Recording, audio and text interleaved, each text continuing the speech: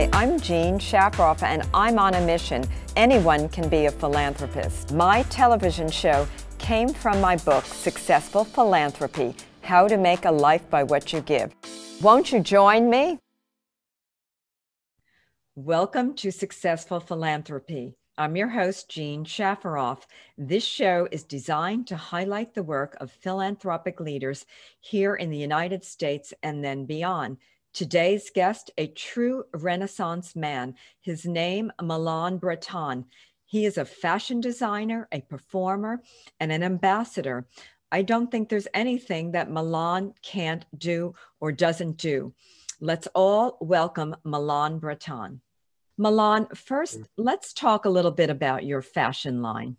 Oh, thank you, Jean. And thank you so much for having me today. Uh, the fashion collection itself started about 15 years ago. Um, I was performing, uh, doing some work with ESPN at the time as the voice of ESPN Extreme Sports. And um, I have always loved fashion. My grandmother was uh, couture client to many people uh, in Paris. And uh, I was very inspired by her clothing and how it was made and constructed. And I met a gentleman by the name of Arnold Scaasi at that time. And he had a sit down conversation with me and asked me what I would like to do with my life at that point. And I said, I would really like to do um, to expand my brand into fashion. And so I started my collection about six months after I started working for him.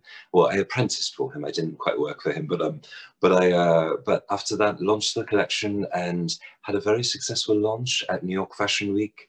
And um, 15 years later, we're in men's, women's fragrance, jewelry, accessories, shoes, uh, the collections all over the world. And we've dressed everyone from celebrities, royals.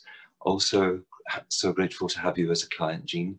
And um, and yeah, it's it's been a very uh, very exciting and wonderful journey for me. Yes, and I remember Arnold Scaasi. I used to buy some of his clothing, and now I buy a lot of Malan Breton's clothing. Oh, Today, I happen to be wearing a jacket from Malan Breton's collection. And Malan, tell us a little bit about some of the celebrities that you've designed for and then the royalty in England. Okay.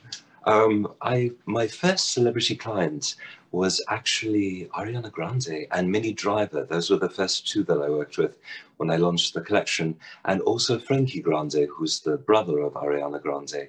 Uh, they're very dear friends to me for many many years, and um, so I started uh, basically in a very uh, tight group of up and coming talent that have actually kind of expanded around the world.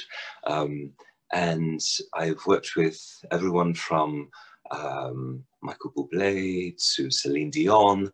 We've dressed um, Kerry Washington, quite a few, quite a few A-list celebrities, but we've also dressed a lot of royals. We've dressed uh, royalty from Monaco, royalty from the UK, um, also I've worked with many uh, clients in that are royalty in Bahrain and also in Saudi Arabia as well. Yes, and Vogue spoke about you being a secret. And what is that all about?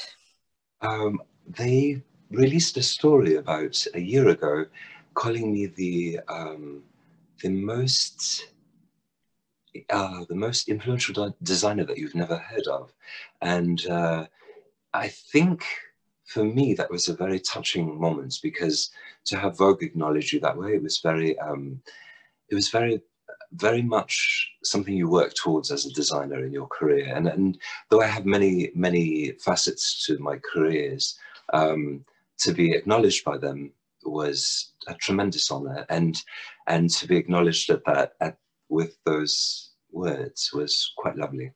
Yes, when Vogue calls you the most influential designer, I think that's a very big deal because Vogue is an enormously powerful force in the fashion industry. And Anna Wintour really has done an extraordinary job with Vogue. And so when she gives you your blessing, you know you've you really have made it. Oh, Alon, yes, and you have. and Thank you so much. Yes, and now I want to tell our audience a little bit about some of the titles you hold.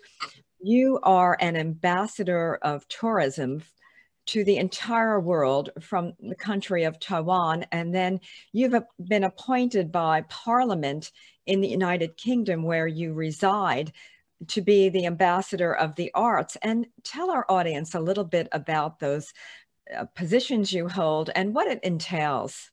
Oh, I would imagine you. it's quite a bit of work and quite a bit of responsibility.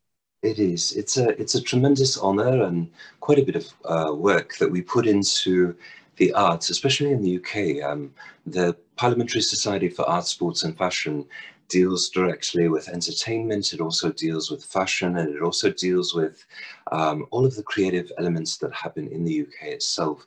I myself have um, a lot more um, going on with the fashion side of it. So I'm dealing with sustainable fashion issues. I'm also dealing with um, uh, manufacturing issues, things like that throughout the world. And we create initiatives that help other designers, also the up and coming designers and um, designers throughout all of Europe um, to develop their brands and, and to teach them where to get the, the items made and, and how to have them shipped properly and things that will actually be good for the earth. So you're really helping a lot of people uh, yeah. through that work. And regarding Taiwan, I would imagine that the tourism business is very slow right now because of COVID. I, I can't imagine too many people traveling back and forth to ta Taiwan. And so uh, for Taiwan, is is tourism on hold right now?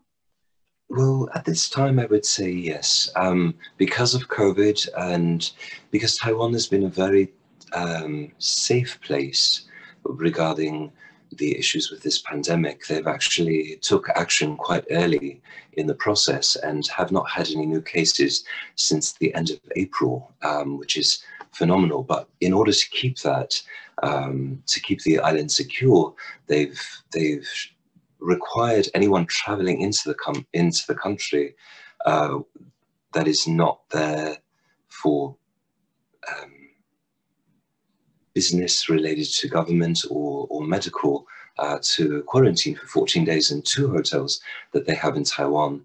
And you can't leave the hotel. Uh, meals are brought to you.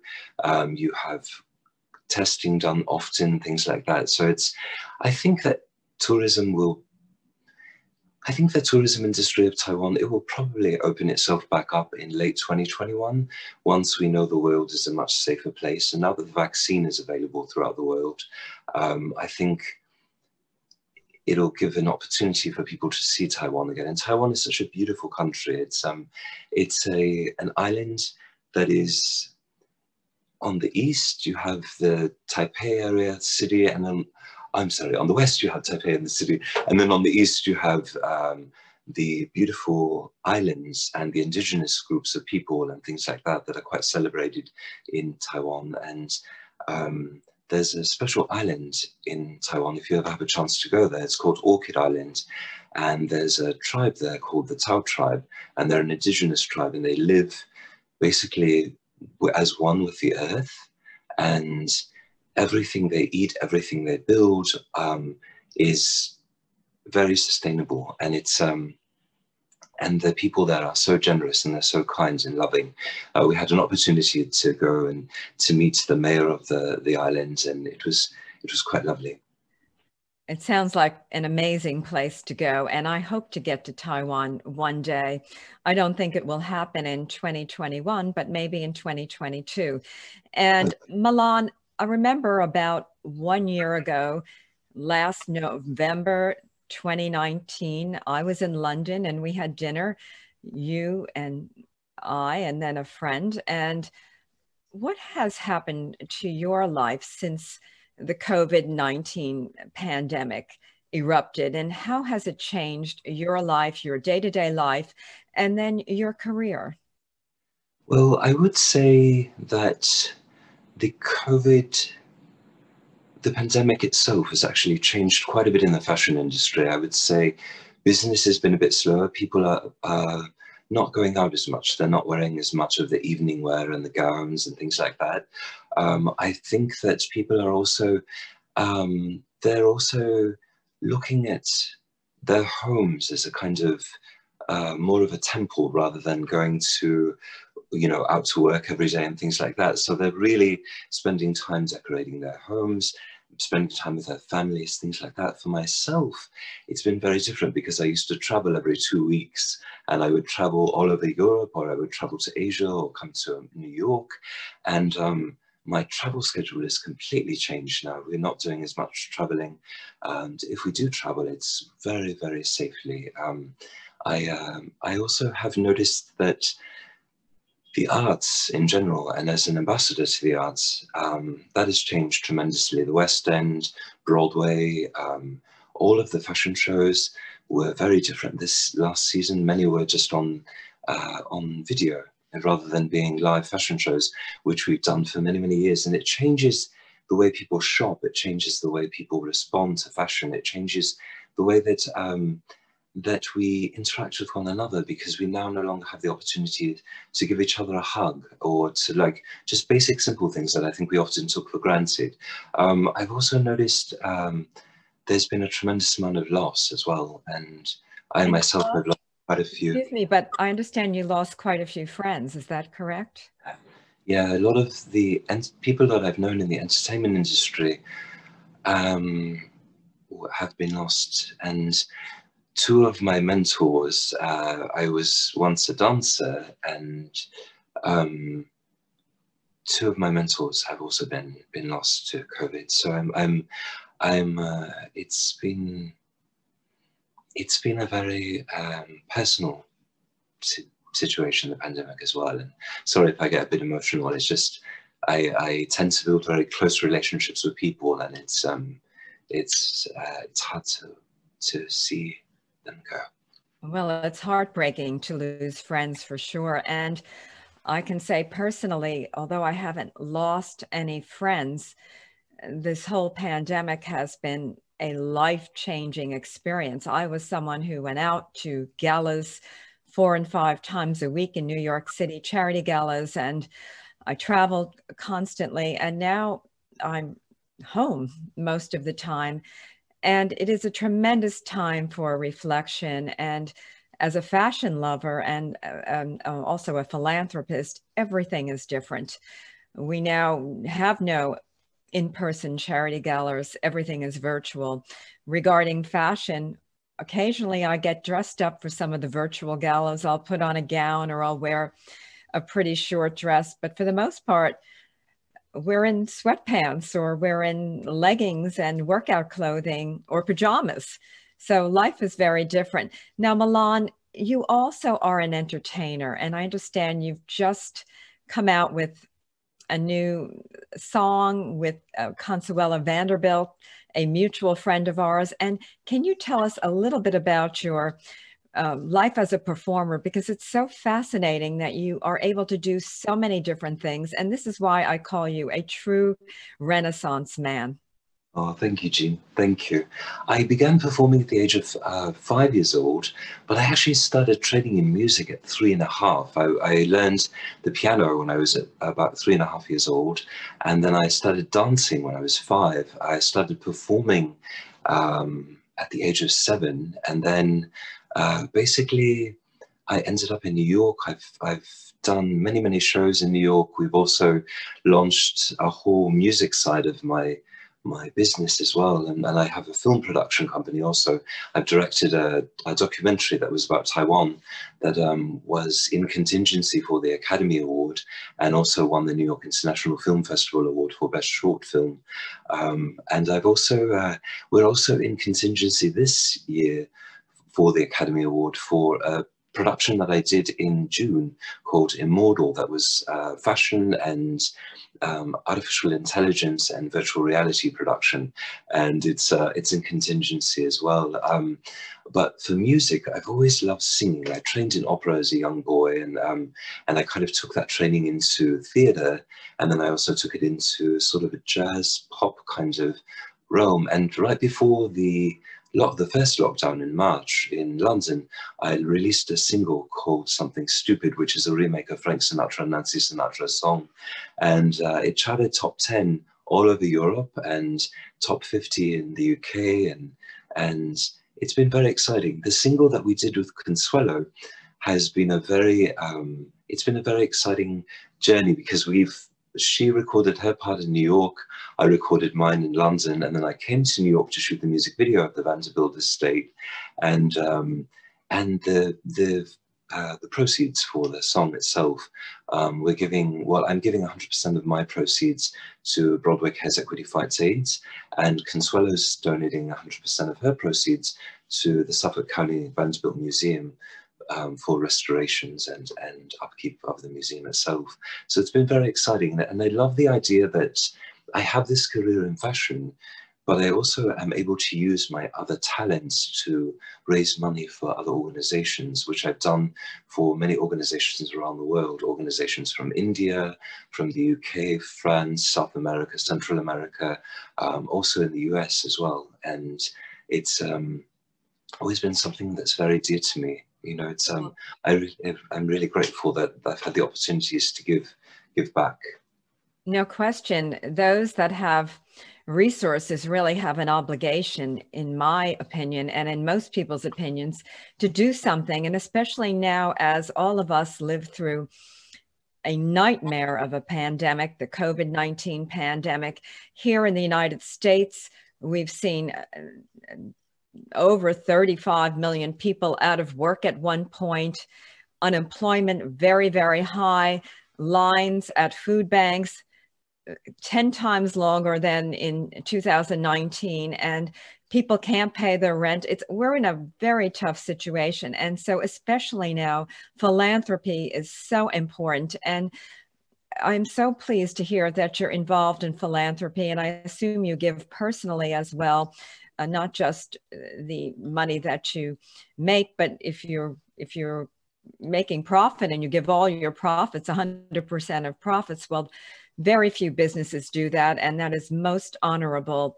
And I have to say, I admire you greatly for doing that. And if you want to speak a little bit more about your philanthropic efforts, we'd love to hear. Thank you. Um, thank you so much, Jean. My uh, my philanthropic efforts really began when I first came to New York in 1996. Um, I was introduced to one of the founders of an organization called Broadway Cares Equity Fights AIDS. And um, they have an event that they do every year. It's called Broadway Bears. And uh, the the man that was the first the the first director and the creator of the event is a man named Jerry Mitchell, who's directed Kinky Boots on Broadway and quite a few other productions and um, I've had a very long-term friendship with him. And he he invited me to come work with him on this show called Broadway Bears that used to be held at um, at the uh, there was a, a I forget the name of the hall on 54th Street, but now it's done at Hammerstein Ballroom. And uh, they raise upwards of a million dollars each time that they have the event for um, for the different charities that Broadway Cares Equity Fights AIDS um, donates to as well. And I, I've worked with them for about 15 years until I had my first um, break on television where I was able to interact with the world. And um, I, you know, I've been on stages all my life. I've been, you know, performing all my life, but I, I never had that outreach. So the minute I was able to use that outreach of millions of people, I took what I had learned from this organization and decided to put it forth into other forms of charity work. And I've worked with organizations regarding children all over the world and education. And I actually have lectured at some of the top universities around the world as well um, to and mentored also to the students. Um, it's very important. I, I was, I never officially trained in a fashion school. I was mentored by the best, but I never really went to a fashion school. Um, so it's it's just very important to me that I give back to everything from students to the people that are less fortunate. Um, and also, especially at this time, I found, I mean, you mentioned the food banks as well, and, and I walked a bit through New York um, on a on a trip this last time, and uh, saw one of the food banks on 14th Street, and the the queue was all the way around the block. Actually, it was up the block and around the next block actually, and um, I realized at that point how important it is for all of us that are able. I mean, even if we if we can't give money, if we're able to give our time to those people that need are in need right now, because it's such a it's difficult because I, I've watched people in the entertainment world, especially because there's really like Broadway shut down, the West End is shut down. Um, I've watched the entertainment world basically well, I've just watched people that have been struggling so much, and and that's why this song was so important that we were able to give back to this organization, and and I um, yeah, I, I hope that in some small way what what we're doing is helping, you know. I'm sure it is, and right now I think all of us want to be of help, and most people, all of us can help. We can give our time, we can give our knowledge, and we can write a check and not uh, not all of us can write a big check, but for those that can't, even your small donations really matter. Malan, you also uh, work to to inspire other people, especially young people. Sounds like you work continually 24 7 i know i pretty much do i go to sleep i get up and the first thing i do put on that computer and start working and put on the phone. What do you do for fun? Do you have any fun or are you working 24 7? It sounds like I'm not sure. Well, you know, I, I really quite, I really quite enjoy the, um, I quite enjoy the work that I'm doing in all fields. Uh, for fun, I, well, when I'm in the UK, I'll spend time with my friends in the royal family, or I'll spend time with people that um, are entertainers. Um, I have quite a few friends that are opera singers, and and I quite enjoy opera. I quite enjoy music, and so for me to be able to sing, that's actually something that's very fun for me as well. And also, I love the art of creating fashion and making others feel the most beautiful that they can. Um, I have a motto that I I started with called "Wherever You Go, Shine," and it's not just about what you're wearing on the outside, it's what comes from the inside and shining through. And, and that's always been something very dear to me is giving people that opportunity to be their best. So important. And of course, you're probably not seeing very many friends right now with this pandemic. I know I'm a very social person and it's been a challenge because we really shouldn't be seeing a lot of people. We here in the United States, the gatherings have to be very tiny right now, and we have to wear our masks, we have to social distance, and we have to keep washing our hands. And these rules are very important, and they're they're all there for good reason. And Malan, you've been involved with uh, uh, this um, Google. Um, oh, Google Cameo. Google Cameo, yes. And tell us a little bit about the, that. I understand you were the first designer to be asked to do a Google cam Cameo. Is that correct? Yes, it's, it's an exciting new program through Google that actually gives the public an opportunity to get to know our work and and the things that we do more personally. So we create these videos based on questions that Google asks us, and it's myself, Gordon Ramsay, um, there's quite a few other um, other actors and models um, that are involved as well. And and what we're doing is uh, they're asking us questions, well, myself, questions about fashion, about music, about all the things that I'm involved in.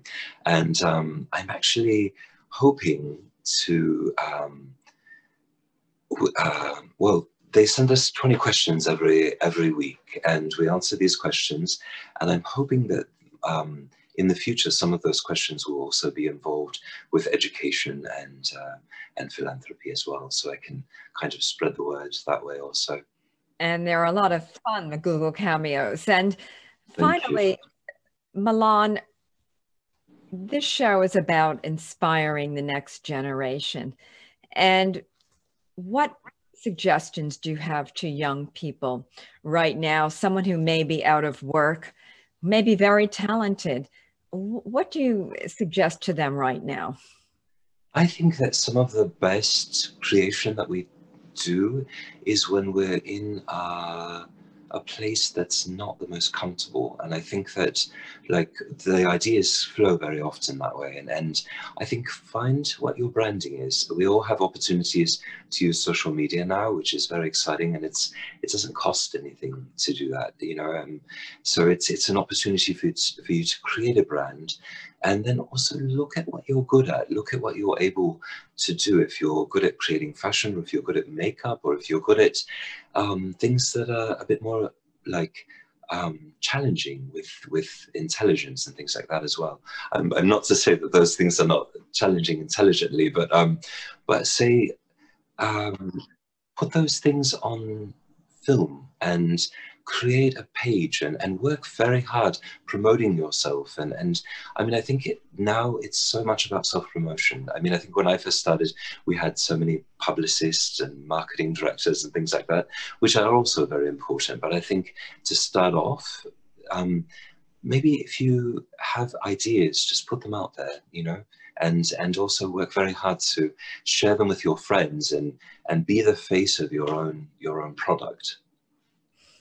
I like that. And I always say you have to believe in yourself and feel positive about what you are. And during this time of quiet, when most of us are, we're required to stay home, it's a great time to reflect and also to work on new projects and do new things. And and so that's what many people are doing. And many people are creating new businesses, creating new roles for themselves, and that's very important.